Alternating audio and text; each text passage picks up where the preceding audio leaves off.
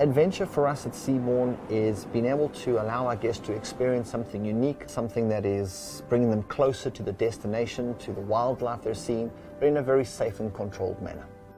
Traditionally, small expedition ships were these really rough, bare to the bones kind of ships, bunk beds, shared bathrooms.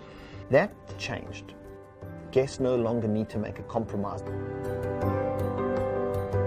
We took two years to build out our Alaska itinerary with ventures in mind.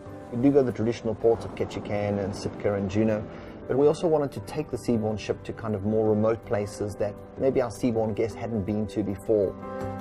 These ships are built like yachts, and when I first joined Seabourn, I was quite blown by the amount of deck space that we have. I haven't sailed on any other cruise ship that has had so much space per guest. When I walk around the ship, it's difficult to believe that we have 450 guests on board. It's just incredible. We get to go into places that a lot of ships don't get to go into due to our size and the length of our itineraries. We go up to a glacial lake, the mountains come rising up right out of the water. Pictures just don't really do it justice. I've had several kayakers indicate that it's probably the most exciting, special experience they've had in their lives. We take you to what people want to experience as opposed to you know what most people experience. This is Alaska everyone comes to see, but very few people do. So same thing, we're just gonna come straight up and over into the boat. There we go, it's a dusky, good. Straight up.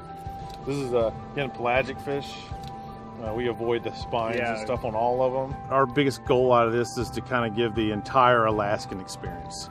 They're gonna go out and they're gonna catch their fish, gonna come back here and we're gonna clean their fish and we're gonna actually feed them their fish. It's great to have the Ventures team on. That's what makes the experience for our guests different. They bring on experts that are just amazing. It's really an in-house boutique kind of service. Tonight you might have dinner, for example, with Lukey, our ornithologist. The following day you're joining for a lecture about birds in the north. It really gives our guests the opportunity to experience destinations and make them come alive with a team of naturalists that are around them all the time, pointing things out, and it just brings a lot more to their onboard experience.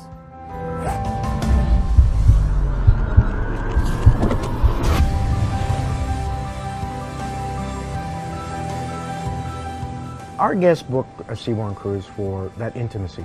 They know that they're not a number on board, that they're going to get personalized service. It's that human element that we provide, that connection between our crew and our guests that I think is the secret ingredient. We make the guests feel like they're coming home again. We make them feel comfortable as soon as they walk up the gangway. It's really rewarding to me to be able to work for Seabourn, to work with guests, to be able to share the knowledge that we've gained over the years and see the light up on their face when they discover something they didn't know. It's an exceptional feeling.